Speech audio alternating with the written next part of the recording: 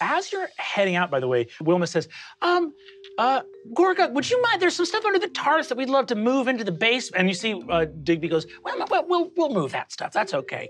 And you see he says, we we just, um, uh, you know, just to let you know, Bud, uh, uh, you know, you were you were gone for a couple months, and we uh, had some friends over while you were gone for a while over the summer, and we were working on some projects, and we had some gear, and uh, we had some gear around the tree, and so, but we're gonna have a lot of guests and strangers and people around, so we're just gonna throw all that in the cellar.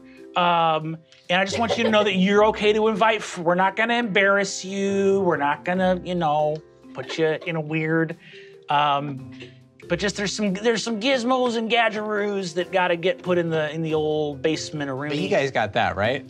Yeah, we're gonna take. Yeah, I don't got- have to go. I don't have to help with that, right? And and we and, and you see Wilma says, and we and I shouldn't have asked. And I just Are I was they thinking I'm just? I'm just stressed and Are those friends going to be at this festival? there's gonna I want to say. What you the know, fuck are we doing? No, no, no. You see, Sorry, he goes, I just- whoa, whoa, and you see that. Uh, you see, Gorbek says, "Gorgug, it's not. It's not a weird look. They're they're." Gorgug's eyes are darting between his Darting between biological the- yeah. parents and. and you see, you see, uh, Gorbag, yeah, Gorbag goes, look, they're all the stuff they're talking about. They that's not what the festival's about. Look, the festival celebrates bodies. You know, there's a nudity tent, but that's not sexual. That's just about admiring each other. So I'm just like having to study a lot lately. and I'm not sure that I'm equipped for this conversation right now. Listen, bud, you don't have to go in the nudity tent. I know. I know I don't.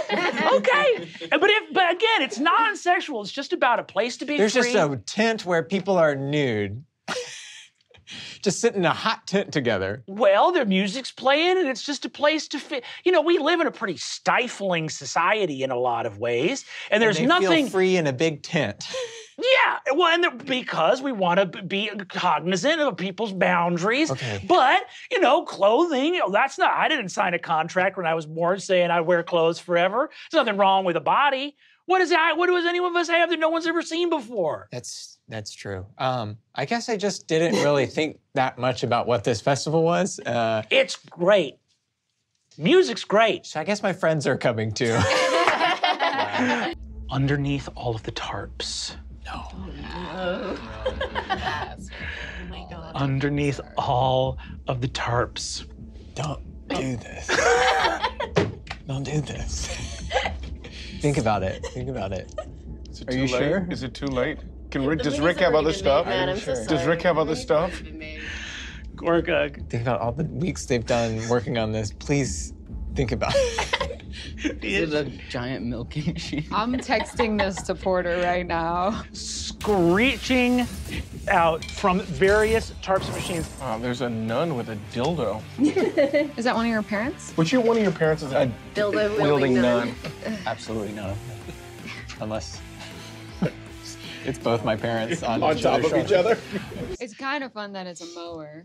Is it? And get now mowed. it's like, yeah, you get mowed by it now. Freaking, your lawn is shorn, my guy. I'm trying to figure out the other pieces. Maybe I don't want to. Well, it's like dildo, feather, butt plug, and then I don't, and then I guess lube gun. Oh, wow. You, You got nailed it.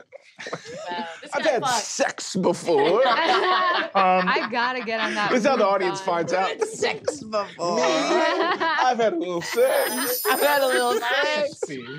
Um, a number of other bots arise under Grix's command. Okay, they're more normal. They're a little Oh, more- okay, that one though. What's up with I'm that sorry, I one? have This to. one isn't sexual, but feels sexual. That might be sexual. This flag one's for the no nation. sapiosexuals. Um, and that's just a fisting machine. Now that's sexual. that one is quite sexual. Wow. Um, Float too. uh, it is flying. It's a hovering, flying. These parents know how to have sex. As someone who Uh, knows. You see that uh, again. Wilma and Digby both go again. This stuff was all put under a tarp. It was all supposed to stay under the tarp. How? You know how to secure a tarp. Wait, so they were like into like fucking machines, or am I Here's missing do you something? really want this? I need. Will you tell me Yeah, you're, well, yeah, you've had sex? explain it you. He just goes ruthless. So they were into. so they were tinkerers, but like horny tinkerers. Yeah, dude. You just you just realized Yeah, we've that? never asked what how they make their money. or That's true. They tinker. They cam. These are people that explained docking in freshman year. That's true. That's very true. Uh, This is not anything we didn't know about the Thistle But Springs. we didn't know that they fucked each other. I just thought it was a, an area of academic interest. It is also that. So these bots, and then the other one is going to close with Fabian. Oh, lame. That's the least sexual one, so you're. Oh, kinda thank like- God. It's just kind of like a weird actually- you know flag what? keg. I'm uh, I'm I'm excited to be attacked by this one. You know, Okay, that is. I feel like it'll just stab me normally. Take you know, 21 fucking uh. Fabian, you take four. I don't. Is there? Do you have any way of uh, getting these machines offline? Ah, we'll we'll try to deal with the lawnmower. Okay. oh my god.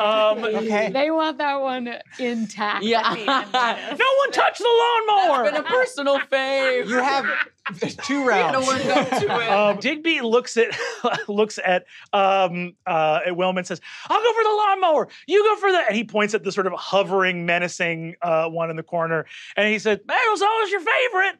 And uh, and takes Taking up. pictures of this, sending it to Porter. we got him. we got him. We got him, Um, Porter. yeah, you see, uh, Wilma goes and grapples the sort of hovering. You can see clear there's like a Sybian strapped to the top of it, and just wrestles it. And she's like, ah, "Don't you hurt any of my son's friends!" And you see that Digby lawnmower is going to come for Riz at this point. Two attacks coming in, Riz. One hits for 13 points of slashing damage. Why did your parents put something Oh. slashing on the dildo machine? yeah. I really can't answer that question, and I'm really mad at you. It's the for asking. lawnmower part of it. It's the I'm lawnmower really- part of it. I'm really mad at you for asking. Uh, Adaine, you take six points of damage. Adaine, you're, you're kicking a man while he's down. Principal Grix, Um, disintegrate me, please.